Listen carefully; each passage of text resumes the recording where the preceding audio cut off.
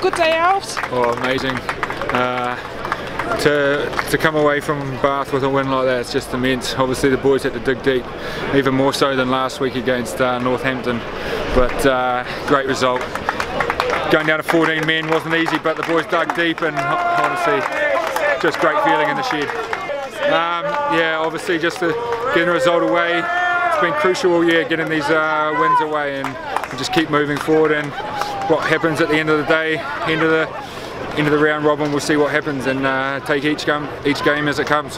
Yeah, and the excitement is obviously building for the quarterfinals. We, we, we've got a good chance, haven't we? Yeah, obviously we have got a bit of momentum. We just need to lick our wounds and, and recover well and, uh, and get ready for Northampton next week. It doesn't get any easier uh, leading up to the quarterfinals, so we'll uh, enjoy the win tonight and then we'll rock up on uh, Monday and get ready for the Thursday excellent defensive effort. Go inside and get cleaned up. Cheers. Thanks, guys, and thanks for the away support. It's been uh, immense all year.